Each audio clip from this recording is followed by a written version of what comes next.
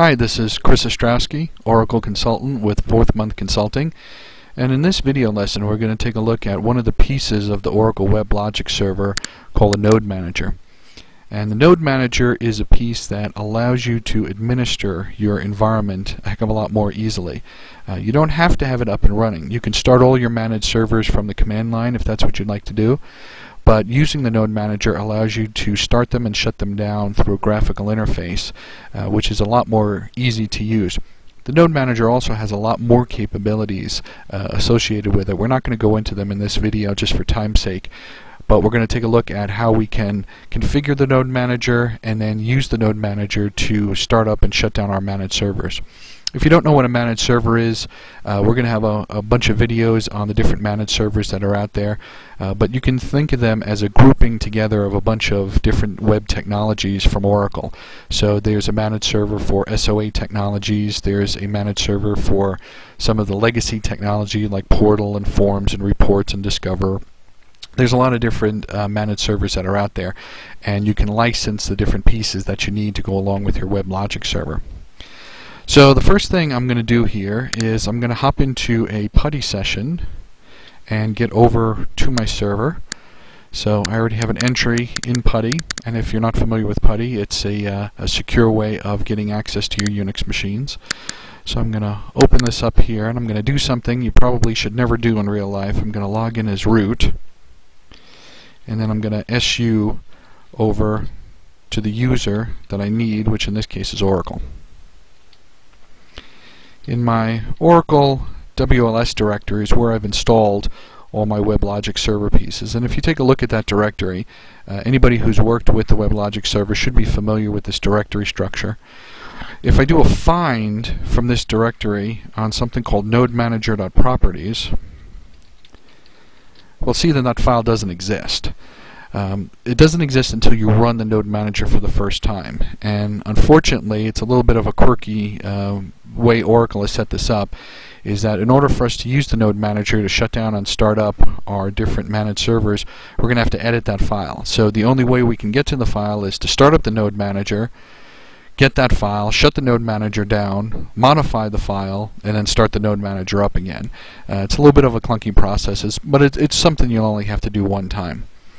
So I'm going to look for uh, the script to actually start up my WebLogic server. And you can see that I have a couple of startweblogic.sh files. I have two in the SOA domain directory and two in the base domain directory. I'm going to run this one that's in my SOA domain directory so we can get that up and running. So if I, whoops, if I highlight that and then, yep, I got it there twice. So let's try to straighten this out. And I'm going to throw an ampersand at the end of this file so it runs in the background and I get returned back to my command line so I can keep using this particular command line. Uh, for those of you who are not familiar with the WebLogic server, there's a lot of really scary looking information here as it scrolls by. What we're looking for is a status of running and I'm going to pause the video right now and then restart it again when the actual running comes up.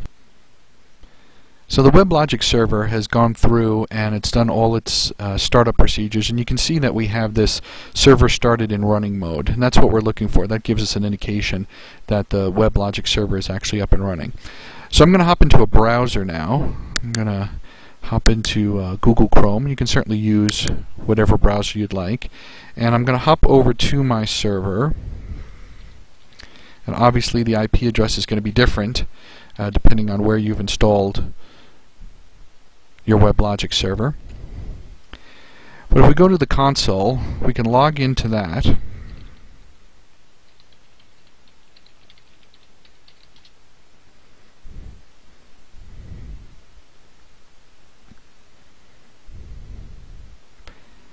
And you can see we're at the administration console here where we can see a lot of information about what's going on inside of our WebLogic environment.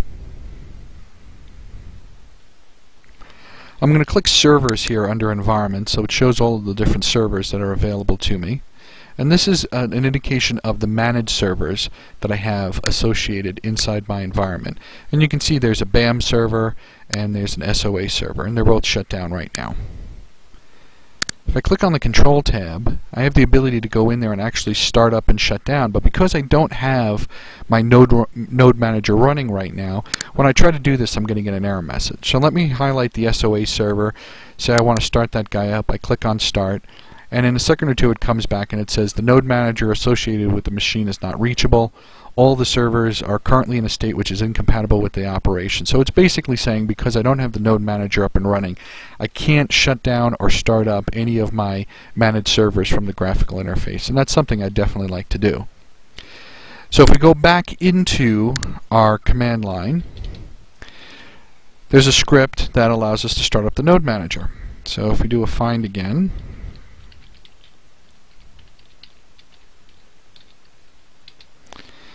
we can see that under uh, the server directory, there's the start node manager.sh. And when we run this file, it's going to go ahead and it's going to create that node managers.property file that I had mentioned earlier.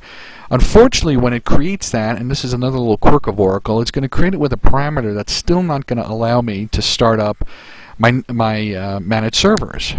So I'm going to go through and I'm going to execute this guy. And again, I'm going to put an ampersand at the end of him so I have control back to my file. So it'll go ahead and it'll start it all up. So you can see there's a whole bunch of information. There's my SOA domain, there's my base domain. Uh, the secure socket listener is now running on port 5556. So it seems like I've done everything I need to. So hopefully I would be able to go in here and start up my servers. But as we're going to see, it's not really true yet. So if I select SOA server again and I click start, this time it's thinking about it. And after a few minutes, you can see I've compressed the video here. After a few minutes, you can see that the SOA server appears that it's up and running. It says task completed and it looks like it's running. But it really kind of isn't, even though it seems like it is. And this again goes back to that setting in the node manager.properties file, which we're going to revisit here in a second. How do I know that the SOA server really isn't running, even though the administration console kind of says it is? Well, there's another tool that you can use, and I'm going to copy this IP address so I don't have to type it again. But if you open up another browser and you go into the EM, which is the Enterprise Manager for the application server, we're going to log into this and we're going to see that even though it kind of seems like the console thinks we're running, we really aren't. So I'm going to hop over here and I'm going to log in with the same credentials that I logged into the administration console.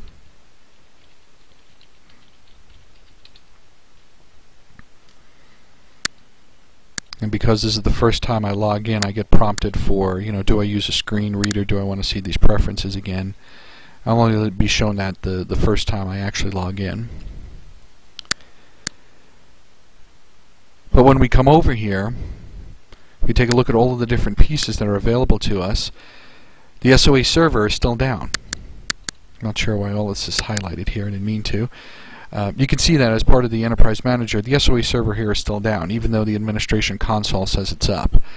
And it took me a long time to kind of figure out what in the world was going on here. But unfortunately, this all goes back to one of the settings in the node manager.properties file.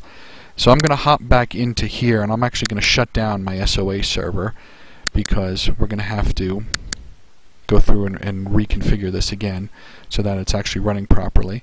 And while that's kind of chugging away in the background, I'm going to hop back here into my terminal window.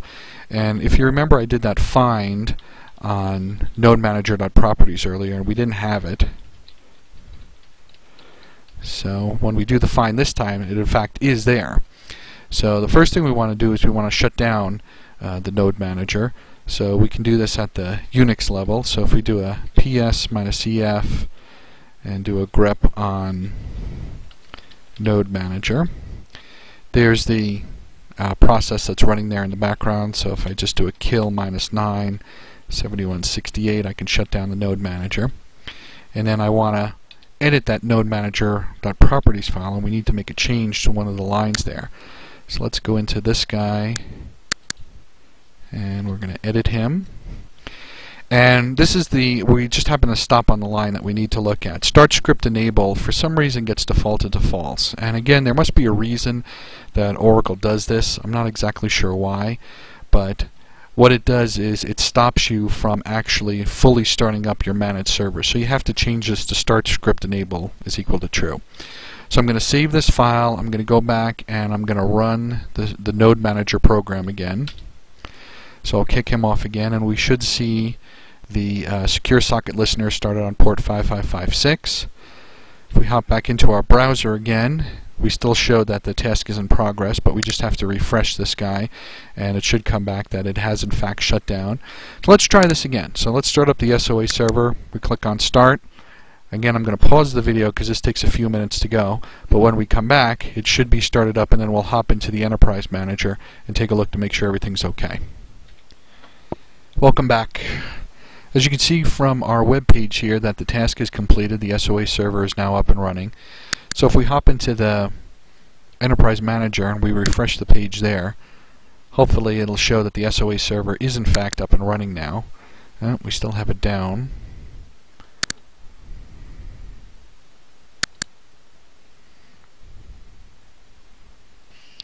We just needed to refresh the page a couple of times. And now you can see that the SOA server is in fact up and all the components that go along with the SOA server are in fact running. So the Node Manager is a pretty powerful piece of software that comes along with the Oracle WebLogic server, but it can definitely be a little tricky to set up and get running. But once you do, it makes your administration of your WebLogic environment a heck of a lot easier. For more information about Oracle products and more collateral like Oracle videos and our blog, please go to our page at www.fourthmonth.com. This is Chris Ostrowski.